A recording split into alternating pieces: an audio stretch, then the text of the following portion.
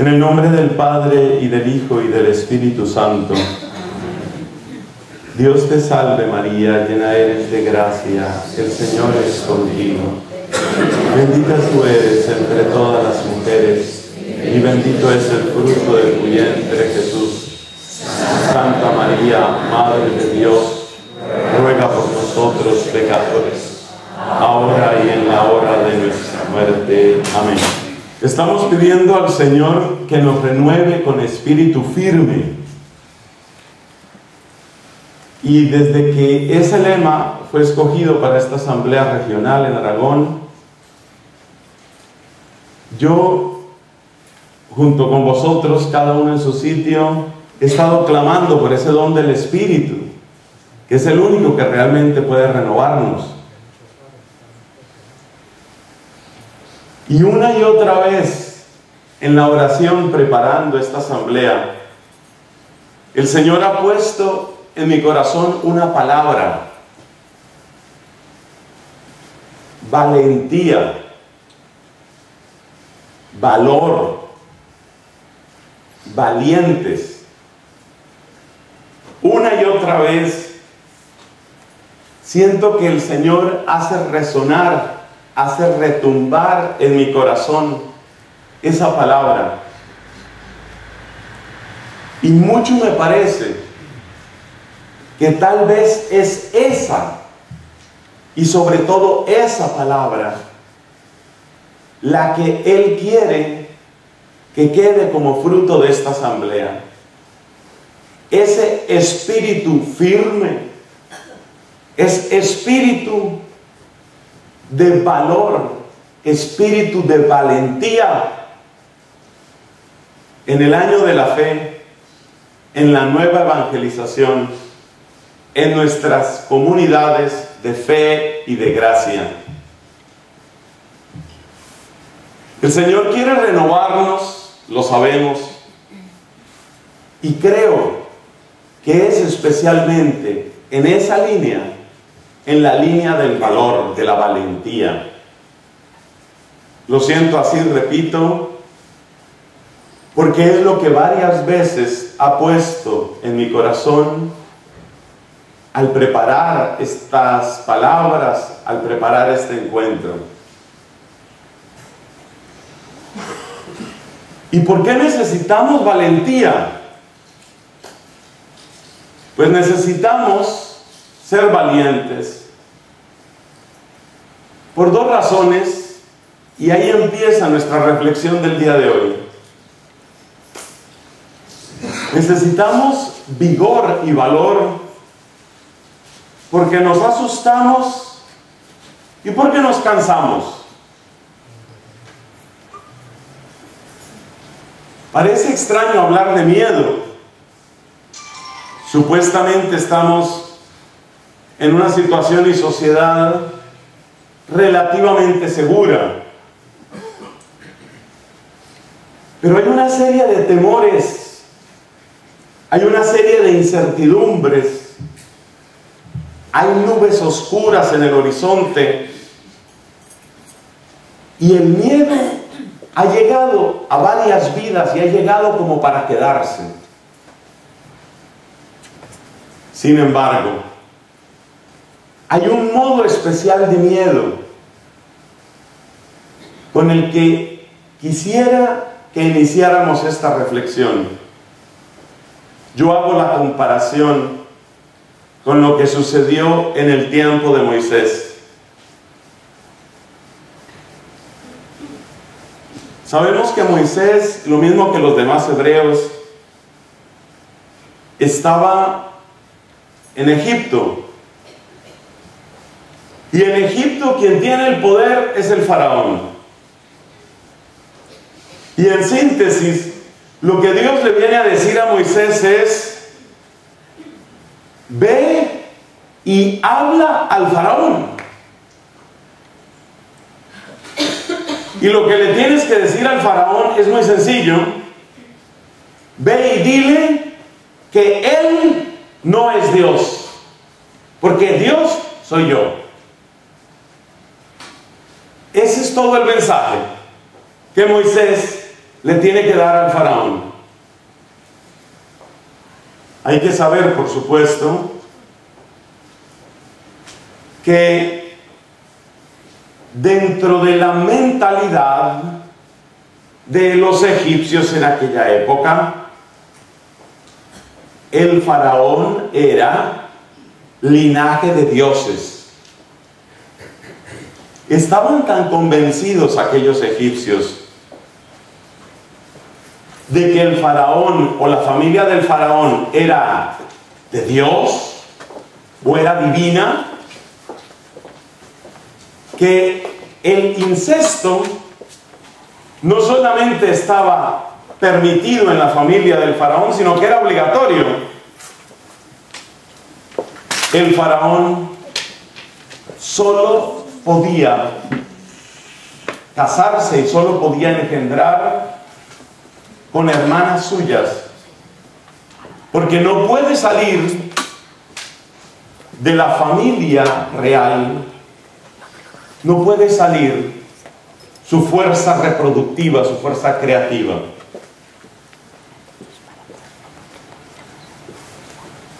O sea que el faraón y todo el pueblo de Egipto consideran que su poder es divino. Y básicamente lo que tiene que decirle Moisés al faraón es, tú no eres Dios. Te crees Dios, pero tú no eres Dios.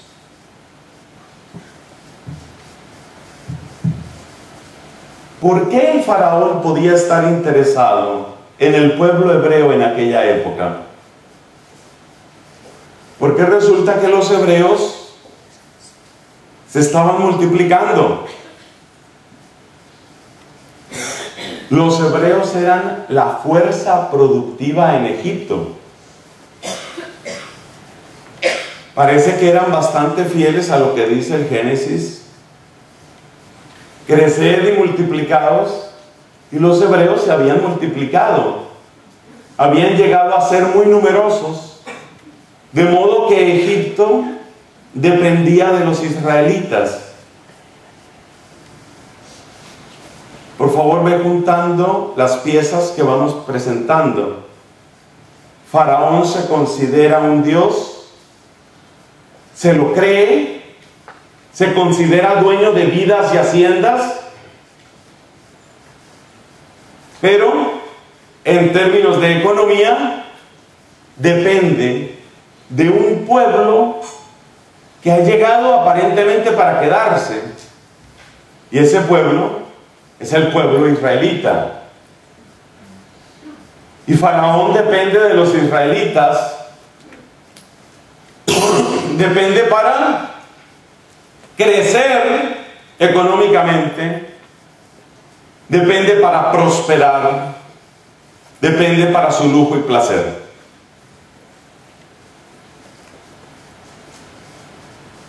El mensaje que Moisés tiene que darle al faraón es un mensaje aparentemente sencillo.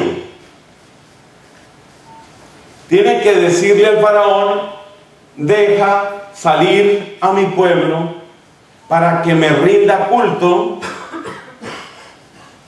para que me ofrezca culto tres días de camino en el desierto.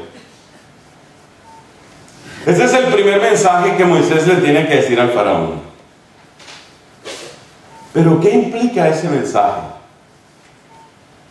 Implica dos cosas, que son precisamente las que Faraón no quiere oír. Primera, que Dios está diciendo, estos son míos, no son tuyos, tú no mandas sobre ellos, yo mando sobre ellos. Y segundo, tres días de camino, un día de culto y tres días de retorno son una semana. Faraón, quédate una semana sin los israelitas a ver cómo te va. Eso se parece a una huelga. Prueba una semana sin hebreos, a ver qué te pasa. Es decir, esa orden aparentemente tan sencilla le está diciendo al faraón, tú no eres dueño de ese pueblo y tú dependes de ese pueblo. Las dos cosas que faraón no quería oír.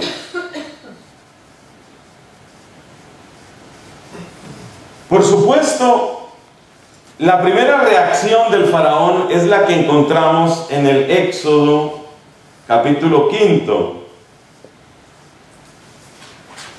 Leo Éxodo 5, versículo 3. Moisés y Aarón le dicen al faraón, el Dios de los hebreos se nos ha aparecido.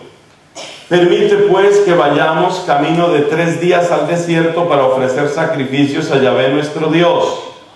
No sea que nos castigue con peste o espada. El rey de Egipto le replicó, ¿por qué vosotros, Moisés y Aarón, apartáis al pueblo de sus trabajos? ¿Qué hacen ustedes complicando la economía? El único lenguaje que Faraón quiere oír es el lenguaje de la ganancia, del lucro, del poder, de la riqueza. Y termina diciendo Faraón, idos a vuestra tarea. Tu nombre es engranaje, piñón. Ese es tu nombre. Vuelve a lo tuyo, sigue dando vueltas, te llamas Noria, te llamas máquina, te llamas piñón, eso es lo que tú eres. Vete y sigue produciendo, que para eso estás. Esa es la respuesta del faraón.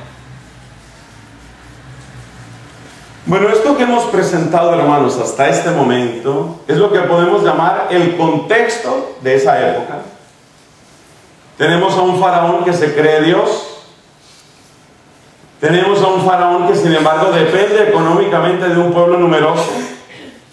Y tenemos un mensaje que Moisés le tiene que dar al faraón. Y ese mensaje es, noticia, no eres Dios, Noticia, dependes de Dios. Dependes del pueblo de Dios. No eres Dios y dependes del pueblo de Dios. Bueno, una vez que ya tenemos ese contexto, ahora vayamos a la figura de Moisés y empecemos a entender ¿Por qué Moisés siente miedo? Se siente cobarde, se siente corto. Entendamos por qué Moisés siente miedo. ¿Qué es lo que le sucede? Pues que se da cuenta de la magnitud de la tarea Y lo que vamos a ver con la ayuda de Dios es cómo el Señor va construyendo confianza, va construyendo vigor, va construyendo valentía en Moisés. Eso es lo que vamos a ver. Cómo Dios toma a un hombre que estaba en el desierto. Él era pastor en el desierto. ¿Y por qué estaba en el desierto? Por miedo. Si recuerdan la historia de Moisés, Moisés creció en Egipto, pero Moisés huye de Egipto y se va al desierto por miedo. ¿Cómo hace Dios para tomar a un hombre asustado, con baja autoestima, sin capacitación alguna, ¿cómo hace Dios para tomar a esa persona y hacer de él el líder más grande de su tiempo? ¿Cómo es? ¿Cómo se las arregla Dios? Para tomar a este hombre que es don nadie, que es un pajarito asustado. ¿Cómo hace Dios para tomar a este asustadizo, a este cobarde, a este nadie y llenarlo de espíritu, de vigor y de fuerza? Eso es lo que nos interesa, porque queremos ser renovados con espíritu firme.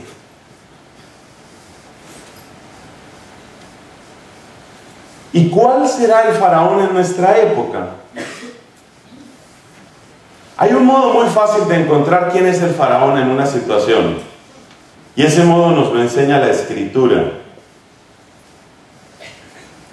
¿En qué momento Faraón obra no como un presidente de gobierno, no como un primer ministro, sino como un Dios. ¿Qué es lo que hace que Faraón se crea Dios y por qué era importante en la mentalidad egipcia? ¿Por qué era importante eso de creerse Dios? Por lo siguiente, mira, si tú eres un ser humano y yo soy otro ser humano, yo no puedo reclamar poder sobre tu vida. En cambio, si yo soy un Dios, yo puedo decir que soy dueño de vidas. Y eso es lo que sucedía en el caso del faraón, como en tantas otras circunstancias y en tantos otros lugares. Aquel, aquella persona, aquella ideología que reclama poder sobre la vida humana, ese es el Dios de la época. El que se crea o lo que se considere con poder sobre la vida humana, ese es el faraón del tiempo. Entonces, Faraón no se quedó en el año 1300 antes de Cristo, época de Moisés. Hay faraones en todos los tiempos. Aquello que se pretenda presentar como más valioso, como más poderoso, aquello que se quiera presentar con poder sobre la vida humana, ese es el faraón. Y el faraón de hoy asusta tanto como el faraón de hace 3.300 años. Y ahora preguntémonos cuál es el faraón de hoy y preguntémonos si le tenemos miedo. Y preguntémonos si somos Moisés y preguntémonos si las disculpas de Moisés son parecidas a las que nosotros usamos. Para al final preguntarnos si a las soluciones que Dios le dio a Moisés nos pueden servir a nosotros. Porque para eso hemos venido, a ser renovados por dentro, con espíritu firme. Espíritu firme. Bueno, habrá gente que reclame poder sobre la vida humana. Un momento, estamos en el siglo XXI. Esto es siglo XXI. Esto es Europa. Aquí se respeta, hay un Estado de Derecho, aquí se respetan los derechos humanos. Ajá. Para todos. Pues sí. Aquí no importa tu orientación sexual, no importa tu edad, no importa tu origen. Aquí se respetan los derechos humanos para todos. ¿Todos, toditos, todos? Pues sí, que no has oído. Entonces se llama Europa. Que aquí se respeta, hombre. ¿Dijiste todos? No sea obstinado, Señor, y no se burle de mí. Ya le dije que todos. Y los seres humanos que tienen cuatro meses de existencia, ¿qué? Los que tienen cuatro meses. Los que están en la barriga, en el vientre de la madre. Esos, ¿qué pasa con esos? ¿Están protegidos por la ley? Si yo estoy en Aragón y yo pago mis impuestos y hay un poder que toma del dinero de mis impuestos y con eso dice, bueno, esta porción del dinero de los impuestos va para con este ser humano. A mí eso se me parece bastante al faraón.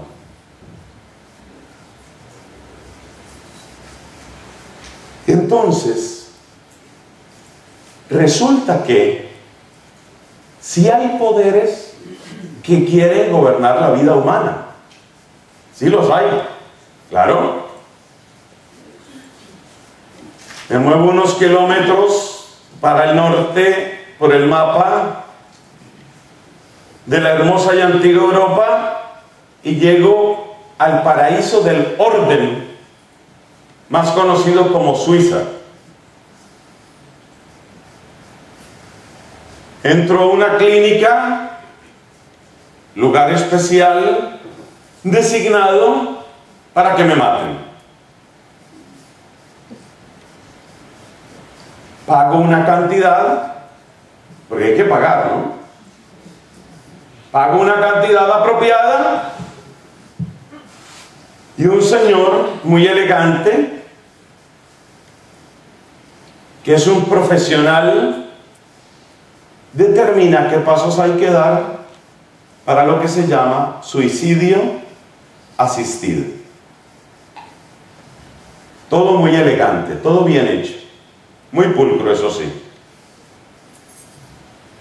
Por ejemplo, el doctor que me va a matar primero tiene que tener mucho cuidado de no infectarme. claro, el doctor no, me va a infectar, no voy a morir de una vulgar infección. Entonces hay poder, hay poder sobre la vida y la muerte, sí, sí hay poder. Y esos poderes nos asustan. Yo digo que hacen todo lo posible por asustarnos y creo que lo consiguen algunas veces. Vamos a suponer que tú eres un diputado, vamos a suponer que tú perteneces a un organismo que puede ser el Parlamento, que puede ser el Congreso, nombre que tenga en cada lugar. Y entonces tú pides la palabra. Pido la palabra. Hable usted, tiene la palabra, Señor. Tomas tu micrófono y dices, Pienso que este honorable cuerpo legislativo está cometiendo un error.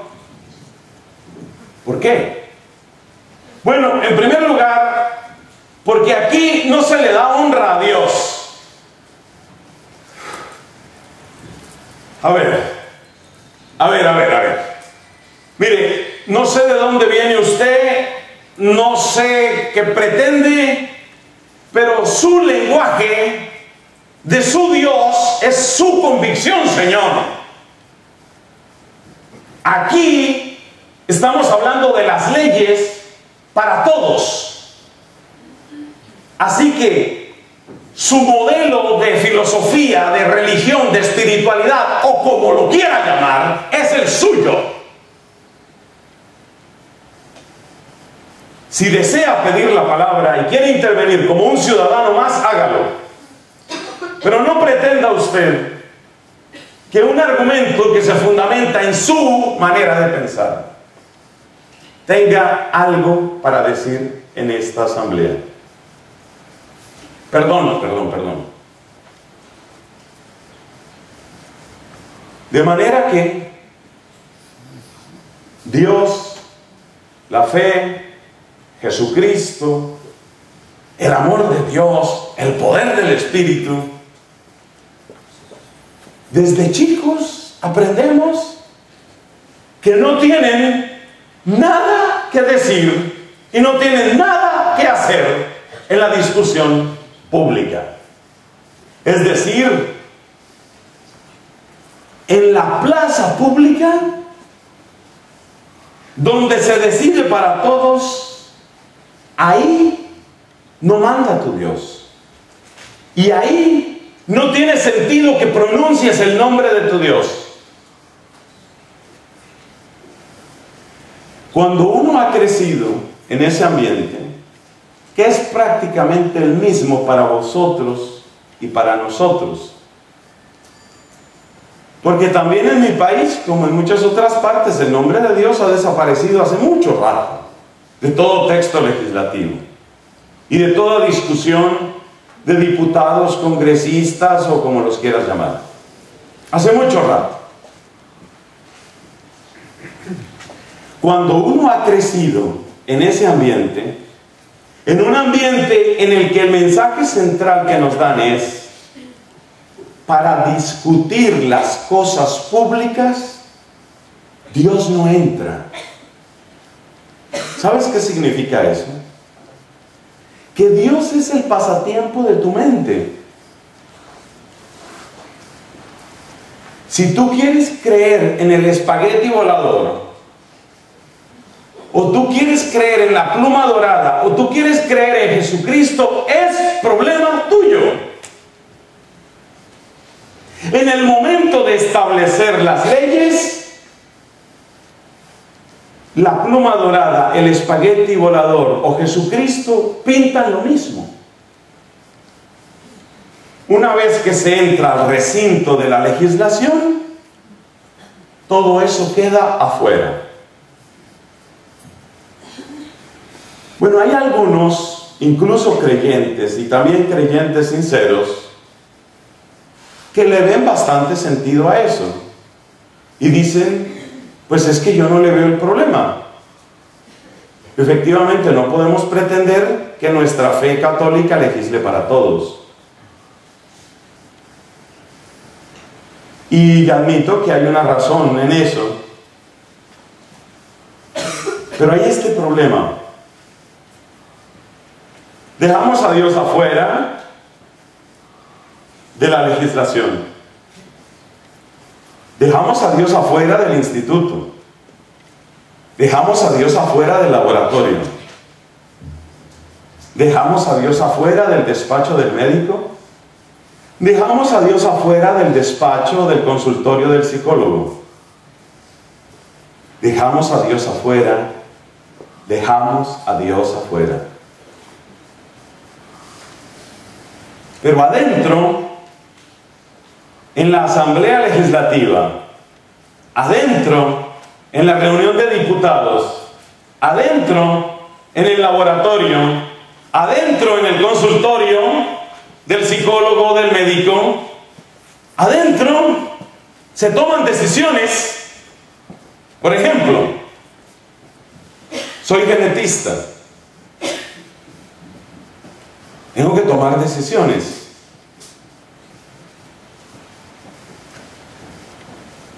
Decisiones que pueden ser sumamente complejas. Por ejemplo, hay una madre que quiere, bueno, una mujer que quiere ser madre, pero hay una enfermedad genética que viene en su familia. A ver, ¿cómo resolvemos eso? Pues entonces, tomamos los cromosomas del esposo, tomamos el óvulo de esta mujer, pero como ya hemos identificado cuál es la parte, cuáles son los genes defectuosos, tomamos esos genes de otro óvulo de otra mujer. Implantamos esos cromosomas del segundo óvulo en el primer óvulo y ese óvulo reformado se fecunda y ese óvulo reformado y fecundado se implanta. Técnicamente hablando, la criatura que nace tiene un papá y dos mamás. Bueno, pues entonces ahí qué pasa. ¿Quién decide eso? ¿Con qué criterios éticos se resuelve eso?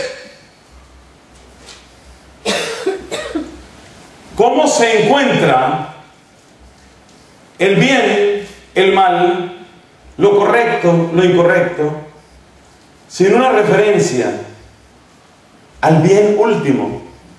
¿Y cómo se encuentra el bien último si Dios hace rato que está afuera del consultorio, del laboratorio, del instituto, de la universidad, de la Cámara Legislativa?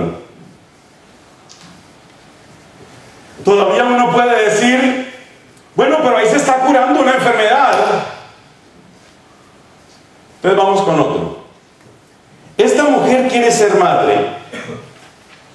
Ella tiene una orientación sexual muy especial. Realmente a ella le gustan las mujeres y ella pues tiene su pareja. Está legalmente casada con otra mujer. Y ella no quiere tener un hijo con un hombre. Ella quiere tener un hijo con su esposa, con su mujer. Le tengo la solución, yo soy genetista, dijimos.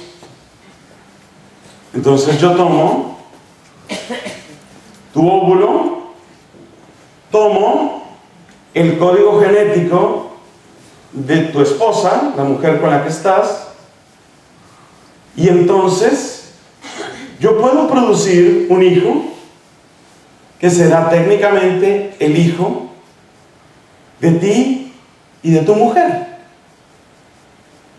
Y la ley me respalda.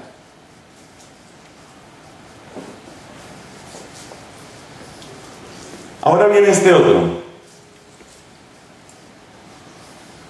Se han encontrado algunos genes que determinan ciertas características de atención, de concentración, es decir, que están relacionados con tareas del intelecto.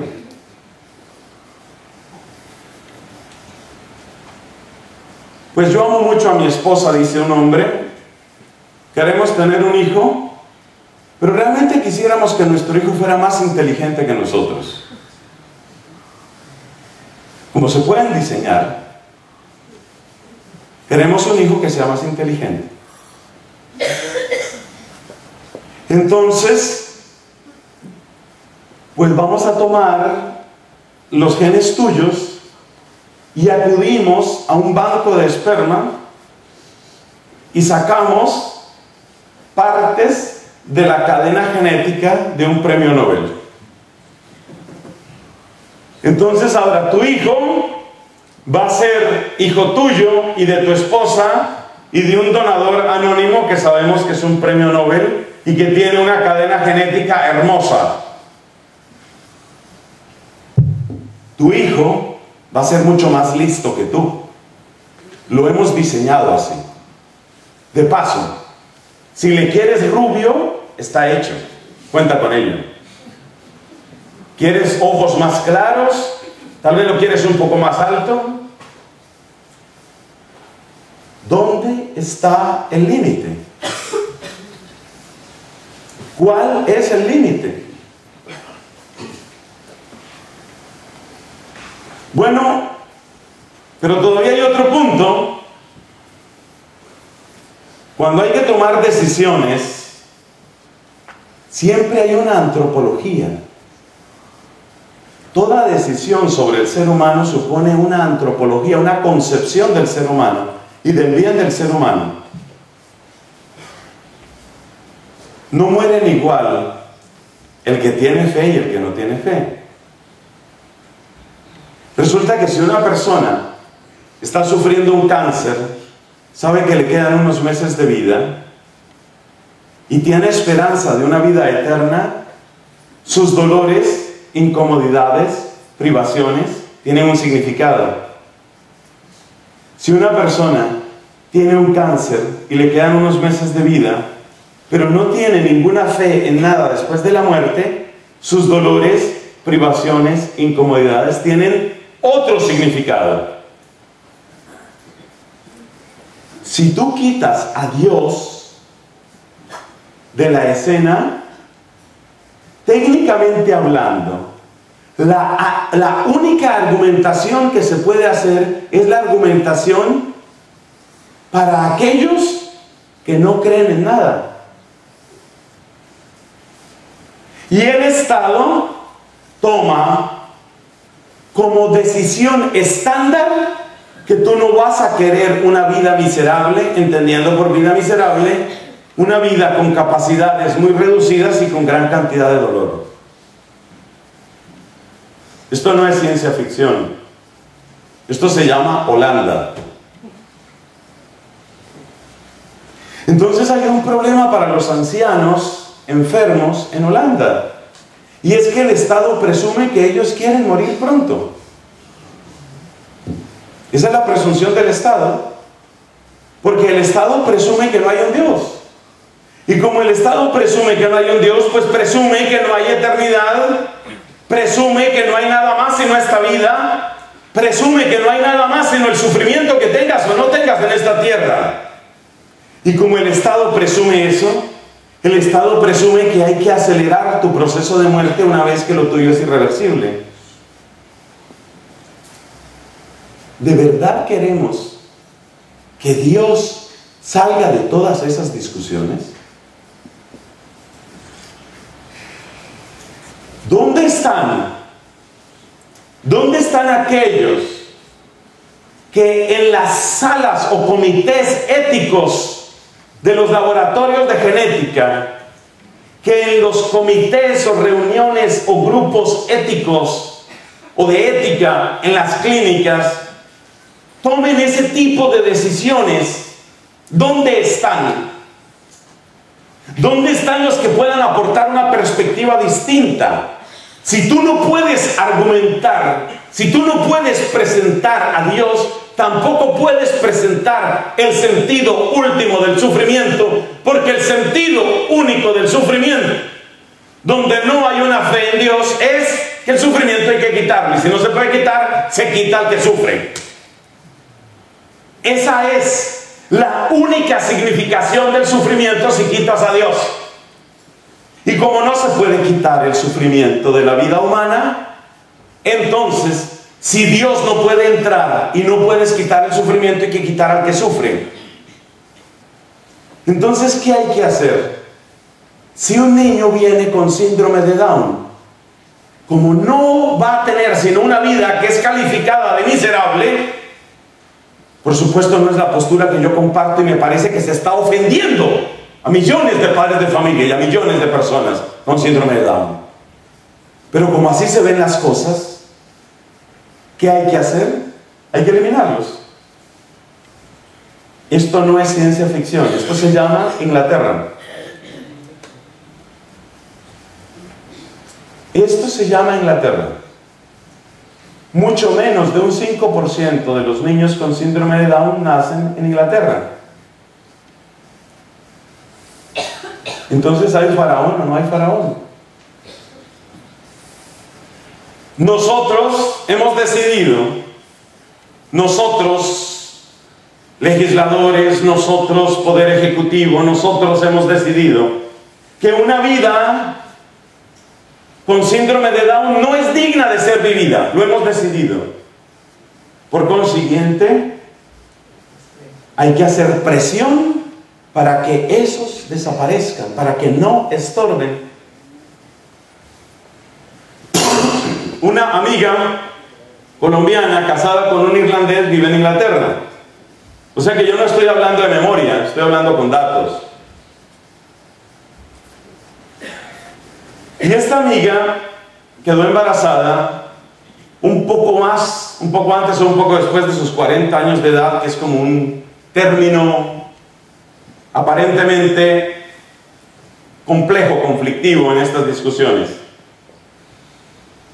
Le hacen un examen de líquido amniótico cuando tenía como unos cuatro meses de embarazo y el doctor le dice, existe un porcentaje alto de posibilidad de que su bebé venga con el síndrome de Down. ¿Le parece si procedemos al aborto? El médico es el que lo propone. Entonces mi amiga dice, no, no, no estoy interesada. Bien, asunto suyo. Unos 15 días después, otro control. Mire, la probabilidad hecho este segundo control parece más alta. Le pregunto por segunda vez, señora, ¿usted quiere seguir adelante con este embarazo o lo interrumpimos ya? ¿Qué quiero seguir? dice ella. 15 días después o una cosa parecida, tercera vez que el médico le pregunta, señora, si usted quiere continuar con este embarazo, yo le voy a pedir que firme aquí. Usted tiene que firmar este documento. Porque si luego su niño nace y tiene, como es posible que tenga, hay un 60% de posibilidad de que venga con síndrome de Down. Si su niño viene con síndrome de Down, usted no me puede demandar a mí. La preocupación del médico es esta. Si el médico no ha sido capaz de detectar síndrome de Down y nace el niño, entonces los papás en Inglaterra, en Holanda, en Alemania y en otras partes, no sé cómo es en España, pueden demandar al médico. No me dijiste a tiempo para haberlo abortado. Firme aquí, señora. Y ella le dice, esta es una mujer convencida, es una mujer provida completamente, y una creyente convencida, y ella le dice, pues claro que firmo, es que yo no voy a matar a mi niño, venga como venga. Bueno, ese asunto es su convicción. Con que firme, yo quedo tranquilo. Ha firmado. Unos cuatro o cinco meses después, nace el niño. El niño en perfecta condición. Es decir, que ya tú supones cuántos niños en perfecta condición por una probabilidad determinada de esos exámenes, han sido desaparecidos. Esos niños no han conocido la luz del sol, esos niños no han conocido el palacio de Buckingham. Esos niños no se han podido deleitar con los Juegos Olímpicos. El hijo de mi amiga ya debe tener unos 6 o 7 años de edad y se ha gozado todo lo de los olímpicos, gracias a la obstinación de la madre. Pero la madre tuvo que salvarlo tres veces y firmar un papel. Además de esos ataques directos sobre la vida, tenemos que hacernos otras preguntas muy graves que también tienen que ver sobre la vida, porque es que las amenazas a la vida no terminan cuando el niño ha nacido. Por ejemplo, ser mujer es una tragedia si eres feto en China. Tú sabes lo que hay en China. Durante generaciones, la eliminación sistemática de fetos por una sola razón.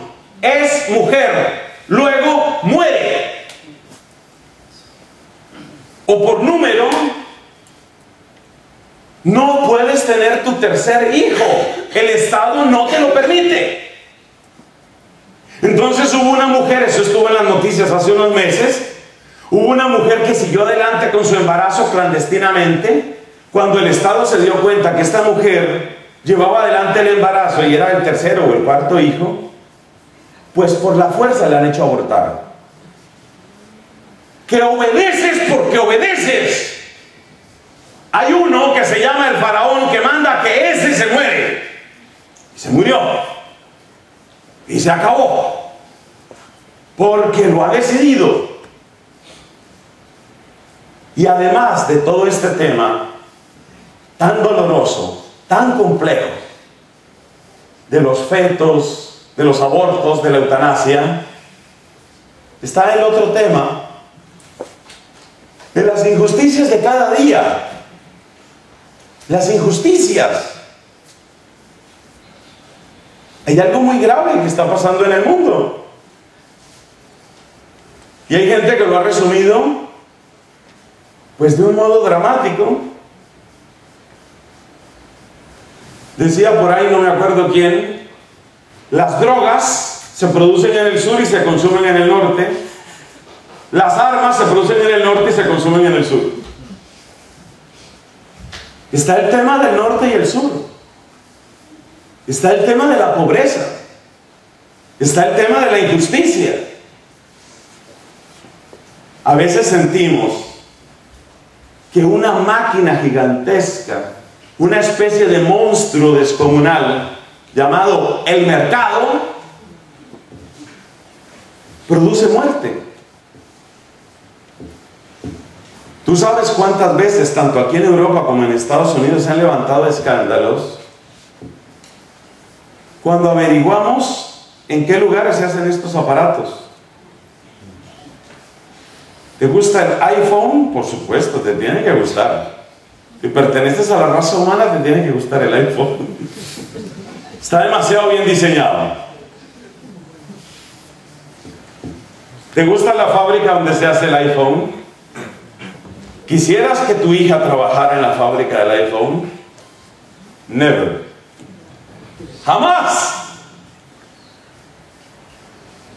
En muchas de estas empresas, en Singapur y en todos estos lugares, usualmente de Oriente, de Asia, del sureste de Asia, cuando llegan las oleadas de producción, hay tanto que hacer que los obreros no van a casa.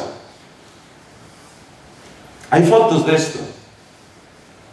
Entonces se trabajan 14 o 15 horas, se come un sándwich y se duerme debajo del escritorio donde estás haciendo los iPhone para las niñas de Alemania, para los chicos en Escandinavia, para los profesionales en Estados Unidos, para las familias en Canadá.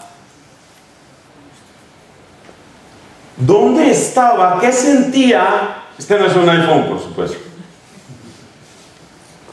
Pero esta fábrica tendrá lo suyo también.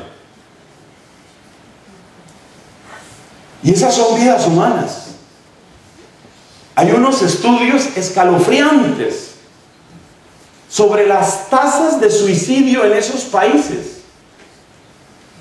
Claro, cuando tú llevas dos o tres meses trabajando como un esclavo, durmiendo debajo de esto, bañándote en una ducha que te la da la misma empresa para que sigas, pues entonces cuando eso pasa, ¿a qué sabe la vida? A nada, pues a matarse. Cerramos aquí la segunda parte. A ver qué partes llevamos. La primera parte es Moisés. Moisés y el faraón. El contexto, faraón se considera un dios y faraón depende económicamente de los hebreos. Esa es la primera parte. En la segunda parte nos hemos preguntado si el faraón ya se terminó de morir o no. Y la respuesta es que de otra manera a veces de un modo anónimo, el poder del faraón sigue. En un país como Inglaterra, una cuarta parte de los embarazos acaban en aborto voluntario. O sea que la aventura más peligrosa, el deporte extremo por excelencia en Inglaterra es nacer. Ese es el deporte extremo. Mira, la gente que se bota de puentes, la gente que se tira en una balsa por un río tempestuoso en medio de rocas, la gente que se arroja por una catarata, no tiene tanto peligro como nacer en Inglaterra, como nacer en el Reino Unido. No tienen tanto peligro. El deporte extremo en Inglaterra es nacer. Si lo logro, ya me apunté una. Ya lo logré. Nací. O sea, ya me salvé de lo que no se han salvado muchos. Pasemos a la tercera parte. Los miedos de Moisés. Moisés, Moisés tiene un encargo difícil. Tiene que ir donde el faraón y tiene que pelear contra el faraón. ¿Y qué pasa ahí? Que Moisés pone todas las disculpas. No se siente muy cómodo con su misión. Mira, Dios le habla a Moisés. Esto es capítulo tercero del Éxodo, versículo 7. Dijo Yahvé, bien vista tengo la aflicción de mi pueblo en Egipto y he escuchado su clamor. He bajado para librarle de la mano de los egipcios. Ahora pues, me salto algunas palabras, voy leyendo así de largo. Versículo 10. Ahora pues, le dice Moisés, le dice Yahvé a Moisés, ahora pues, ve yo te envío a Faraón para que saques a mi pueblo, a los israelitas de Egipto. Respuesta de Moisés, aleluya Señor, claro que sí. Ah, pero qué bien que estés con nosotros. Pues vamos a la tarea. No. Respuesta de Moisés. ¿Quién soy yo para ir a Faraón y sacar de Egipto a los israelitas? Yahvé le dice, yo estaré contigo. Versículo 13. Moisés a Dios, si voy a los israelitas y les digo, el Dios me ha enviado, cuando me pregunten cuál es su nombre, ¿yo qué digo? Responde Dios, yo soy el que soy, así dirás a los israelitas. Capítulo 4. Respondió Moisés y dijo, no van a creerme, ni escucharán mi voz. Van a decir, no se te ha parecido Yahvé. Le dijo Yahvé, ¿qué tienes en tu mano? Un callado. Échalo a tierra. Lo echó a tierra, se convirtió en serpiente. Moisés huyó de ella. Le dijo Yahvé a Moisés, agárrala por la cola Aquí empieza la terapia. Agárrala por la cola. Extendió la mano, la agarró y volvió a ser callado. Dijo Moisés, capítulo 4, versículo 10, por favor Señor, yo no he sido nunca hombre de palabra fácil, ni aun después de haber hablado tú, soy torpe. Le respondió Yahvé, ¿Quién le ha dado al hombre la boca? ¿Quién hace al mudo y al sordo, al que ve y al ciego? ¿No soy yo? Vete, que yo estaré en tu boca. Respondió Moisés. Ay, por favor, envía a otro.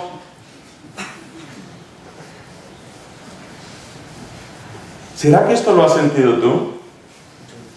Vamos a suponer que a ti te gustan las leyes. ¿Te gustan las leyes? ¿Te gusta el derecho? Y te dice Dios, Ve que yo te envío a la Cámara de Diputados. Ve que yo te envío al Parlamento. Tengo un escaño preparado para ti. ¡Ay! ¡Ay, no manda otro! ¿Te gusta la ciencia? Tengo un trabajo para ti. Necesito que vayas y que demuestres la dignidad del ser humano. ¡Ay, no!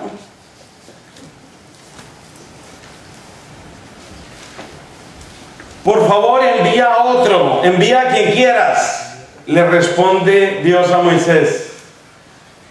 Y anota el texto, se encendió la ira de Yahvé contra Moisés. Bueno, Moisés, ¿qué pasa contigo, hombre? No tienes a tu hermano Aarón el levita. Sé que él habla bien. Entonces, y termina diciendo, él hablará por ti. Mira cuántas veces Moisés intenta huir. ¿Y tus huidas? A veces nos da miedo hasta hablar con el párroco, ¿no? Ve y habla con el párroco. Dile que yo estoy vivo y que quiero fundar un grupo de oración aquí. Ay, Señor, yo soy torpe de lengua. ¿Yo qué voy a hacer? Manda a otro, pero. Ay, pero ¿qué es esto? Y a esta hora que van a dar el programa. Nuestro Dios. Eso salió hoy en la oración, ¿no? Nuestro Dios nos mueve y nos remueve. Nuestro Dios nos incomoda. Nuestro Dios nos desinstala. Pero a la vez, nuestro Dios es un Dios que nos sana. Nuestro Dios es un Dios que nos capacita. Me gustó tanto en la oración de la mañana, cuando clamábamos al Espíritu, como el Señor ponía en varias de vuestras bocas. Capacítanos, Señor. Nuestro Dios nos manda a enfrentar a todos, hasta el párroco. Hay que enfrentar a todos. Para algunos el gran faraón, el terrible y espantoso faraón se llama el suegro. O el esposo. O el compañero de trabajo. Hay gente que le da pánico que sepan que estoy yendo a un grupo de oración. No, no, no, no, no. A ver, que la gente sepa que estoy haciendo pilates, que hago yoga, que invoqué al del Reiki. Bueno, eso está de moda, eso pasa. Pero que estoy con el rosario, el papa, la adoración, el cura, no, así como decía una propaganda de televisión allá en mi país, me escondo. ¿Te acuerdas, Jaime, no? Me escondo. Que se entere mi compañero de trabajo con el que hacemos el diseño de red en la empresa, que se entere que yo adoro a Cristo, que yo doblo rodilla delante de la Eucaristía, pues ahí tendrán para burlarse mí el resto del año. Y el año entrante, porque ya queda poco de este. ¿Cuántos son tus miedos? ¿A qué le tienes miedo? ¿A qué le tienes miedo? ¿Cuántos son tus miedos de que se sepa que amas y que adoras al Dios verdadero? ¿Cuántos y cuáles son tus miedos que te frenan, que te detienen para que no se entere el vecino, para que no se entere el esposo, para que no se entere el hijo, para que no se entere el papá, para que no se entere la novia, para que no se entere la amiga. ¿Cuántos son tus miedos? Porque claro, aquí hablamos de los grandes faraones cuando hablamos del tema del aborto. Pero además de los grandes faraones, cada uno de nosotros también tiene una cantidad de faraoncitos o faraoncicos, dicen aquí, ¿no? tenemos la mente y tenemos el corazón poblado de faraoncicos y una cantidad de miedos y una cantidad de encogimiento y una cantidad de cobardía. Y entonces nos dicen, hay que evangelizar. Y uno dice lo de Moisés, por favor Señor, yo no he sido nunca de palabra fácil, ni aún después de haber hablado tú. Se te ha mostrado el Señor con poder. Tú has hecho un seminario de vida nueva en el Espíritu. El Señor se te ha mostrado con poder. El Señor ha hablado contigo. Y sin embargo, Éxodo capítulo 4, versículo 10. Señor, no soy de palabra fácil. Éxodo capítulo 4, versículo 13. Manda a otro. No está esa Mari Carmen por ahí. Mándala a ella, que a ella sí le gusta hablar. Mándala a ella. ¿Ah? ¿Para qué está? Pero ¿para qué están los curas? Para eso. A mí que me dejen tranquilo produciendo y consumiendo. Yo de vuelta a mi piñón. De vuelta a mi engranaje de vuelta a mi fábrica. Oye, pero Dios le hace el tratamiento a Moisés y con eso vamos a terminar esta primera enseñanza. El tratamiento que Dios le hace a Moisés y el tratamiento, la terapia que Dios le hace a Moisés se puede resumir en tres pasos. Y es nuestro primer ejemplo en el día de hoy. Cómo Dios toma un hombre común, un hombre más bien humilde, más bien acomplejado, un hombre cobarde. Dice Santo Tomás de Aquino, refiriéndose a por qué Cristo escogió a sus apóstoles tan rudos, tan poco instruidos. Y hace esta explicación Santo Tomás. Los escogió así débiles, cobardes, rudos, ignorantes, entre otras cosas, para mostrar que el poder es suyo. Que el que hace la obra es Él. Dios puede tomar tu vida, hermano. ¿Qué tal que en esta asamblea tú sientas en el fondo de tu corazón que el que te envía no es otro sino Él. Que Él te envía. Que Él, Él te envía. Para que vayas a ese salón de clase, para que vayas a esa sala de profesores, para que vayas a tu laboratorio, a tu fábrica, a tu oficina, ahí donde cualquiera blasfema de lo que quiere, para que vayas ahí y ahí defienda su gloria, y ahí defienda su nombre, y ahí defienda su honra, y ahí defienda a sus niños, los chiquitos y los grandes. ¿Qué tal es? ¿Qué tal que Dios te llame hoy para eso? ¿Qué tal que hoy el Señor te renueve con espíritu firme? Como vamos a ver después en otra enseñanza con Jeremías yo te convierto en muralla de bronce. Lucharán contra ti, pero no podrán contigo. ¿Qué tal que hoy el Señor te repita esa palabra? Y que tú sientas, a pesar de que te sabes y te reconoces tan limitado, como lo soy yo, como lo somos todos, que el Señor te toma y te envía. Te envía. Porque si vamos a celebrar el año de la fe y si vamos a celebrar la nueva evangelización, no es únicamente leyendo documentos. Es que a veces uno cree que está viviendo el año de la fe porque ya leyó el documento del año de la fe.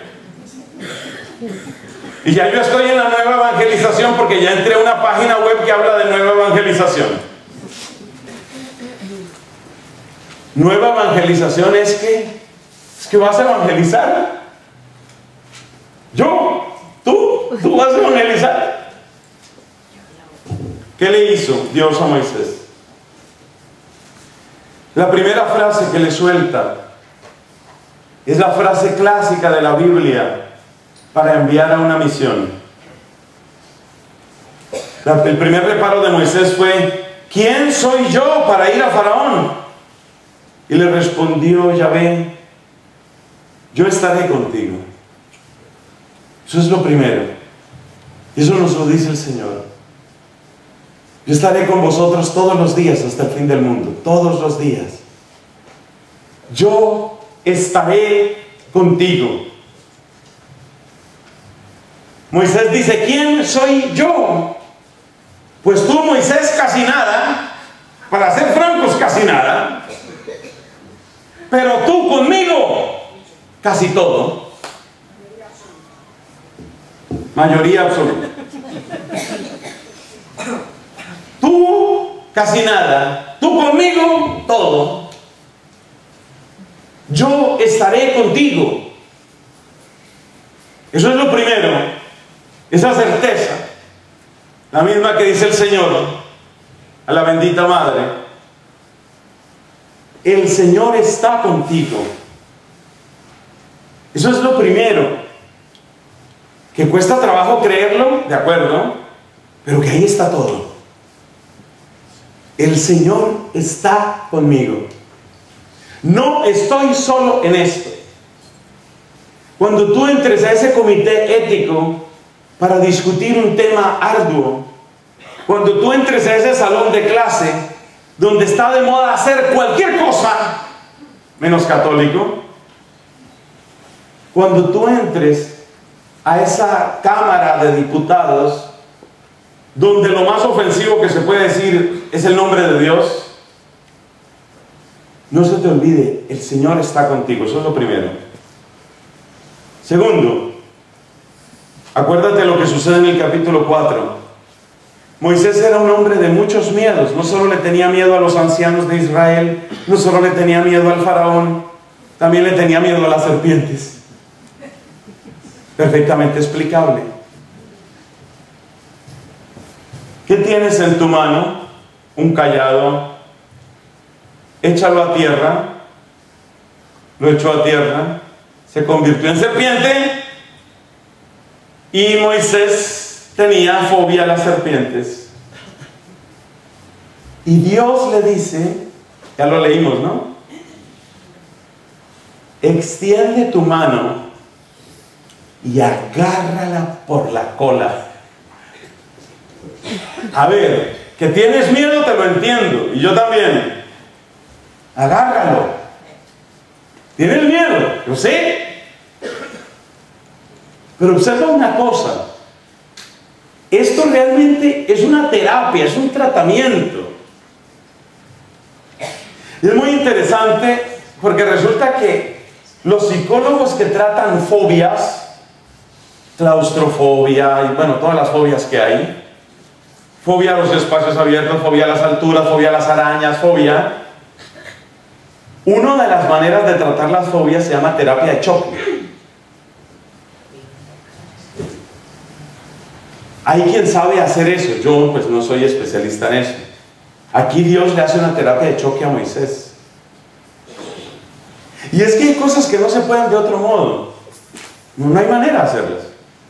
Me acuerdo cuando nuestro grupo de oración, siendo yo un joven universitario, para una cuaresma, te estoy hablando de cuaresma de hace 30 años, para que vayas sumando, año 82, año 80, no, no fue en el 82, fue como en el 83 o 84. En el grupo de oración nos dicen, bueno, este año vamos a hacer misión. Aquí bien, vamos a hacer misión, qué bueno, misión. ¿Y dónde vamos a hacer misión? Vamos a hacer misión puerta a puerta. O sea que, ¿qué? ¿Has oído? Puerta a puerta a puerta. Una puerta, otra puerta y otra puerta. Eso no hay manera de hacerlo suave. En algún momento tienes que asumir tu miedo y agarrarlo por la cola. Pues entonces uno toca el timbre o toca la puerta. ¿Y ahora con qué me voy a encontrar? Pues me voy a encontrar con mi miedo. Eso es lo que voy a encontrar ahí. Eso es lo que me voy a encontrar. Pero lo voy a agarrar por la cola. Es decir, Dios, por un lado, lleva a Moisés a afrontar su terror, pero primero en pequeño y en solitario. Ahí no había testigos. El único testigo era la serpiente, que se volvió otra vez callado. Ahí no había testigos, en pequeño. Es decir, afronta tu miedo, agárrale la cola, primero en pequeño y luego en grande. Podemos imaginarnos a Moisés aprendiendo a obedecer primero en lo pequeño. Y Moisés venciéndose, violentándose, agarra. Y la serpiente ah, se volvió callada otra vez. Victoria. La victoria pequeña te prepara para la victoria grande. Pero tienes que tragarte tu miedo, tienes que agarrar por la cola a la serpiente, tienes que vencer. Así sea pequeña, pero tienes que vencer. Y cuando ya ves que sí se cumple la palabra, cuando ya ves que es verdad, esa pequeña confianza te prepara para la gran confianza. Y la gran confianza te prepara para la confianza mayor. Y la confianza mayor te prepara para la confianza gigantesca y colosal. Y la gran confianza te prepara por si acaso se dispara una persecución y empiezan a matar gente. Claro, porque la última confianza es el martirio. Esa es la última confianza. Entonces ya ves cómo funciona esto. La terapia de Dios a Moisés en tres pasos. Primer paso, ya sabes, ¿no? Primer paso, yo estaré contigo. Y eso hay que tenerlo presente, y hay que creérselo, y hay que tomarlo en serio, y hay que pedirle al Espíritu que lo escriba en lo profundo de nuestras almas, para vencer a los muchos faraones. Segundo, empezar por lo pequeño con una victoria real, y esa victoria real me prepara para otra, y para otra, y para otra. Nosotros vamos, dice el Salmo, de baluarte en baluarte, hasta ver a Dios en Sion. Nos vamos refugiando, nos vamos refugiando y vamos avanzando. Ahora que veo a mis hermanos muy amados en el sacerdocio, uy, nosotros cómo tenemos de miedos. ¿Cómo tenemos de miedo a los sacerdotes? Y si uno es sacerdote y es extranjero, más miedo. Por lo menos así me pasó a mí los años que viví en Irlanda. Allá pues incluso más complicado porque me tocaba obviamente la, la predicación en inglés. Nosotros tenemos muchos miedos y tenemos miedo también al otro hermano sacerdote. Lo mismo que os pasa, que en la universidad, que en el colegio, que todo eso. Tenemos muchos miedos. Y por eso una de las cosas que vamos a pedir en la oración fuerte de hoy es que el Señor rompa esas cadenas para nosotros y para nuestros sacerdotes. Necesitamos sacerdotes santos, sabios, pero necesitamos sacerdotes valientes, valientes, valientes en su predicación y servicio hacia afuera, valientes en el testimonio y en la palabra con sus hermanos sacerdotes, porque a veces donde uno es más cobarde como sacerdotes en el presbiterio, ahí con nosotros curas, ahí nos da un poco de respeto humano. Y la tercera, la tercera parte de la terapia, finalmente Moisés llega donde Faraón. Faraón, ya vimos lo que le respondió a Moisés. Déjate de historias, déjate de cuentos y sencillamente a trabajar, a seguir produciendo. No termináis de enteraros que sois máquinas para engordar mis tesoros Moisés tiene que enfrentarse ya no con la serpiente chiquita, sino ya con el problema gordo y grande. Y se enfrenta. Pero ¿qué es lo característico de esta tercera parte? Que cuando llega Moisés a hablar así con el faraón, cuando ya vea la cara al faraón, cuando ya ve qué clase de miserable es ese, entonces ya Moisés siente vigor él. Es decir, el tercer paso es desmitifica los poderes, desnuda los poderes, vence el mito sobre esos poderes esos que antes te asustaban. Ya no más, ya no más. Ya se le ve. A ver, ¿qué son? Son seres humanos. ¿Qué son? Tanto miedo que tengo a qué. Y lo que ellos proponen, ¿qué? Yo creo en un Dios que ha enviado a su Hijo para que muerto en la cruz me dé nombre, me dé vida, me dé eternidad. ¿Qué es lo vergonzoso de eso? En cambio, qué vergonzoso es y qué triste es la alternativa. ¿Y cuál es la alternativa? Tanto que le tengo miedo al ateo, al agnóstico, al no sé qué. ¿Y ellos qué tienen? Por Dios, ¿ellos qué tienen? Yo tengo un Dios que me ha amado. Yo tengo un Dios que ha llegado hasta la sangre por mí. Eso tengo yo. ¿Ellos qué tienen? ¿Ellos qué tienen? La nada. Eso es lo que tienen. La nada. El absurdo, el abismo, la noche. Quieren ellos que yo abandone a mi Dios para irme a dónde? ¿A dónde me voy a ir? Al abismo. Eso es todo lo que tienen. Cuando ya uno descubre que la alternativa, y la alternativa se llama el faraón, cuando ya uno descubre que la alternativa tiene pies de barro, que me vaya de Cristo, que me vaya de la iglesia, ¿a qué? ¿A dónde? ¿A quién?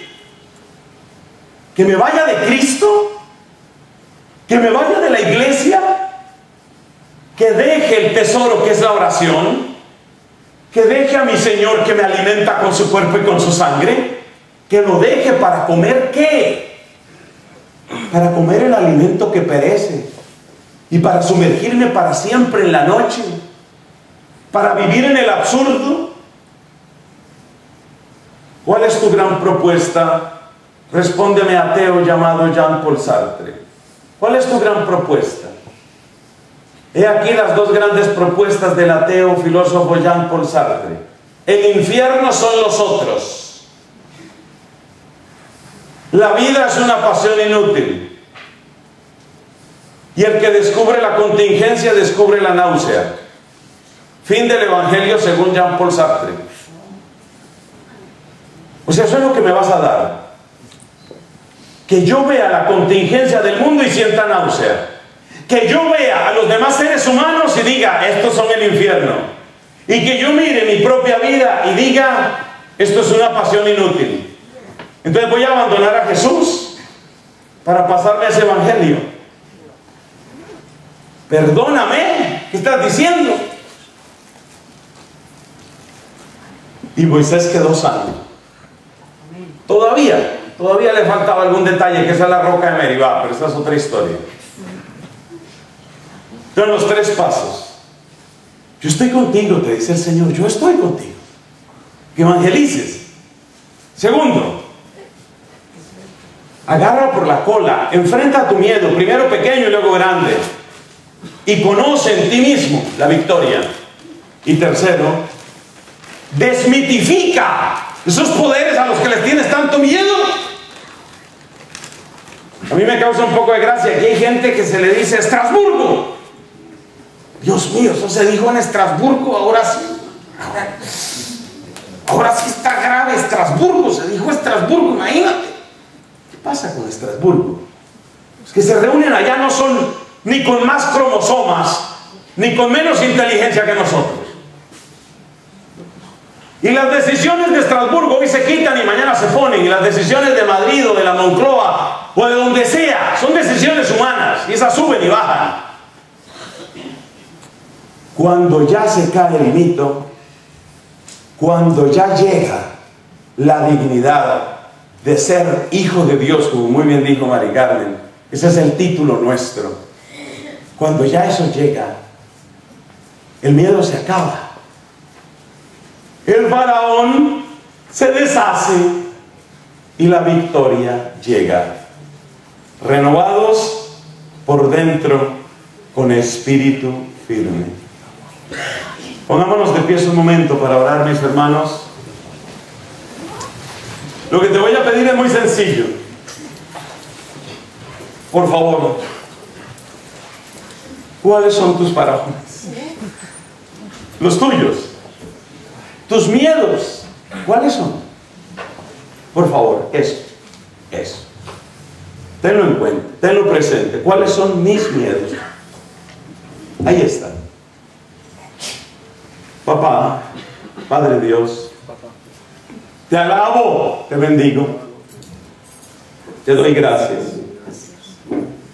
Ven con espíritu de fortaleza, Señor Ven con espíritu de victoria. Ven a iluminar nuestros corazones y muéstranos cuáles son nuestros miedos, cuáles son nuestros faraones, Señor, cuáles son. ¿Por qué andamos tan encogidos, tan, tan acomplejados? ¿Por qué andamos tan escondidos, Señor? ¿De qué nos escondemos?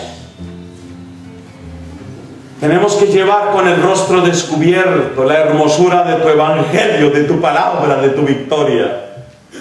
Ven, Señor. Ven con tu poder. Cae, Señor, con poder sobre esta asamblea, Dios mío. Llénanos de tu fuerza y de tu gracia. Que esta sea, Señor, que esta sea la asamblea donde sentimos cómo tu voz nos llama, como tú nos dices, Mira, escúchalo, escúchalo, José, escúchalo, María, escúchalo, Adriana, escúchalo, Alexander. Yo estaré contigo, yo estaré contigo. Y hay una señal para ti. Escucha, escucha. Yo estaré contigo, yo estaré contigo. Cuando vayas donde el faraón, tu faraón, el tuyo, yo estaré contigo. Aleluya, bendito. Bendito sea, Señor. Gracias, Señor, gracias. Gracias, Señor, gracias, porque hoy nos llama. Bendito sea, Señor. Gracias, Dios mío, bendito seas. Gracias, Señor.